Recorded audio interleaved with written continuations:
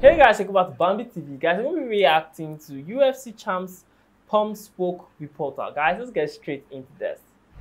You are you are an infection. You are the definition of weakness. Everything that is wrong with the world is because of you. Uh, Sean, we were talking before about how you have so much respect from your teammates, from peers. You said you've had great interaction with fans pretty much all the time.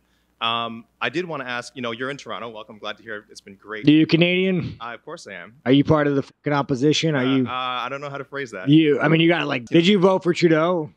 Uh, you know, I'm not gonna say. And, and let me tell you something right now. If a man says he's not going to say, like, if you ask him, "Motherfucker, did you vote for Biden?" He's like, "Well, I'm not going to say. That's none of your business." He voted for Biden. Uh, we've got a pretty supportive gay and lesbian Yeah. community in this city. I did want to ask you about something you wrote a couple of years ago. You said if I had a gay son, I would think I'd. Oh, look, another, another.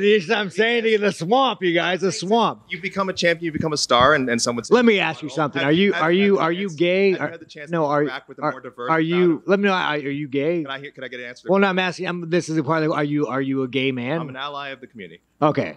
If you had a son and he was like, you know, you had a son, he was gay, you'd be like, oh man, you don't you don't want a grandkid? No problem with it. Oh man, well, dude, you're a weak fucking man, dude. You're like, you're part of the problem. You elected Justin Trudeau, like, and and has he shut down your fucking country and seized bank accounts? You ask me some stupid like that, go fuck yourself. Move the fuck on, man. like that really answered the question, but I did want to ask also things you said about the trans community. You said uh, this past October when they announced the Bud Light sponsorship that you'd go so hard on Bud Light in your next fight they'll have to accept me or denounce me when uh, when they know what and will know what they stand for. Are you This guy's like, nah, this Canadian's not that Canadian. Are you still going to use your fight time to kind of speak on that? Here's the thing about Bud Light.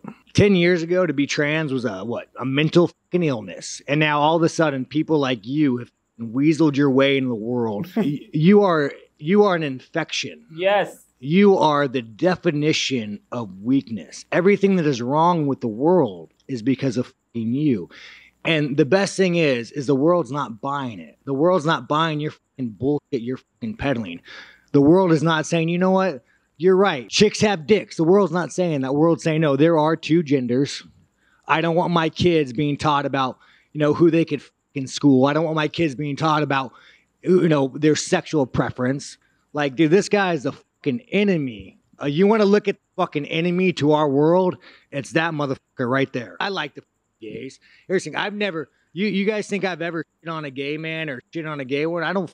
I like the gays. It's it's a it's it's freedom. We still have it in America. We'll teach you about it. You guys don't have freedom of speech. I'm surprised what I'm saying is probably gonna get. I'm probably gonna get the uh, Canadian government to arrest me. I don't give a fuck what you want to do in life, but don't fucking tell kids about it. Don't teach that shit in fucking school. Don't don't fucking push your agenda. Don't try to brainwash people.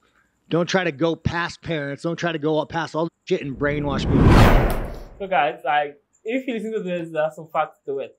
The fact that the agenda is wrong, I, I say it's wrong personally because it's not healthy. One, I feel those people, people who feel like that, if you listen to them, people who have actually transitioned, most times they feel like I don't fit there. I feel it's more of they don't they, they haven't discovered themselves. And if you listen to them after the transition, they still don't fit. Like they are still feeling weird. They're still having kind of oh people look at me this certain way. But I feel like this guy is maybe insecure about how I look and stuff like that. And I, I would say it, it, for you transition is not going to fix those insecurities. I don't think it will. I don't think it's going to clarify who you are to what your purpose is. I feel you transitioning is, let's say, because of you have a, a medical issue. I think that's the only reason why you should do it.